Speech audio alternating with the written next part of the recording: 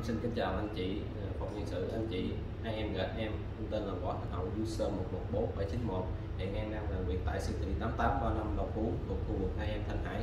Thuộc miền gặp em Anh Hoàng. Hôm nay em rất vui và hạnh phúc, đủ điều kiện tự tin mình mẽ thi trong kỳ quản lý hôm nay. Ờ, sau gần hơn 2 năm 9 tháng đồng hành cùng Bách Quá Xanh, em đã cũng không ngừng nỗ lực học hỏi từ các anh chị.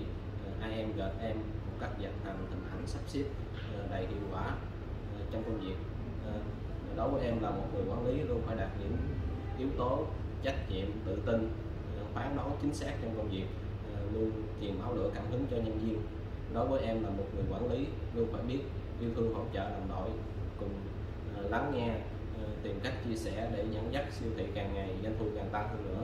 Và đối với em là một người quản lý, luôn phải có, luôn đặt trách nhiệm, luôn làm đúng thiết kế từ công ty đưa ra, và luôn ưu tiên khách hàng là số 1 nếu được ứng tuyển ở vị trí mới, em sẽ dốc hết sức trẻ tài năng để sự nhiệt huyết ờ, cống hiến cho công ty một phần nào đó.